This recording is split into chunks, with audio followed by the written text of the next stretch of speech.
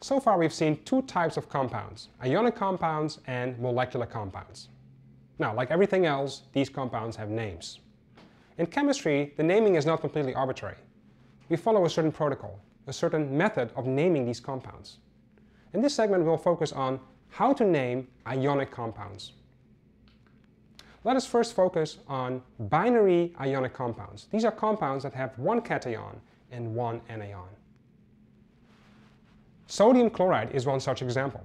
It's composed of sodium plus cations and Cl minus anions. The name is sodium chloride. Cesium bromide is another example, composed of cesium plus cations and bromine minus anions. Cesium bromide. Now, in order to name these binary ionic compounds properly, we have to specify whether or not the first element, the cation, is of type 1 or of type 2. Now, type 1 cations are those that can only have one charge. Type 2 are those cations that can have a variable charge.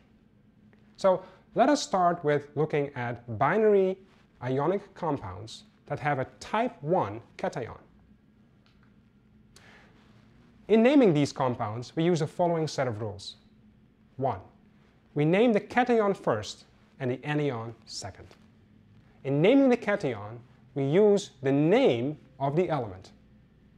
In naming the anion, we use also the name of the element, but with the suffix "-ide". So that means the following. That means that a compound composed of cesium and fluorine becomes cesium fluoride. Cesium first, the fluorine, the anion, second, with the suffix "-ide". The next compound is aluminum chloride. Because we name aluminum first, the cation, the anion is a chlorine anion. We use the full root, which is chlorine, with the suffix "-ide", which means aluminum chloride. This compound is composed of calcium and sulfur. We name calcium first and sulfur second. Sulfur with the suffix "-ide". So it becomes calcium sulfide. Magnesium oxide is called magnesium oxide because the oxygen anion acquires the suffix "-ide". Now let us next look at ionic compounds that contain a type 2 cation. The naming of these compounds is almost the same as those of the ionic compounds that contain a type 1 cation. There's one important exception, and that is that we have to specify with a Roman numeral the charge of the cation. Here's an example.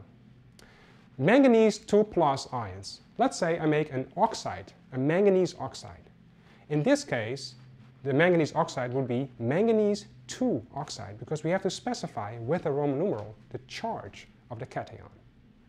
Manganese 3 plus, if we form an oxide with this, this will be called manganese 3 oxide. Manganese 4 plus cations, if we form a oxide with those, that compound would be called manganese 4 oxide. So we always have to specify with the Roman numeral the charge of the cation. Here's a list of common type 2 cations and their systematic name. Let's look at a couple of examples of type 2 ionic compounds. For instance, copper 1 chloride is called copper 1 chloride. Why is it a 1 and not copper 2?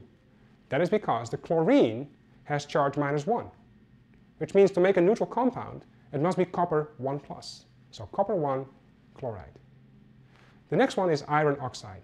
It's iron 3 oxide. Why is it a 3 and not a 2? That's because I have three oxygens. Each oxygen anion has charge minus 2. That means 3 times minus 2 is minus 6.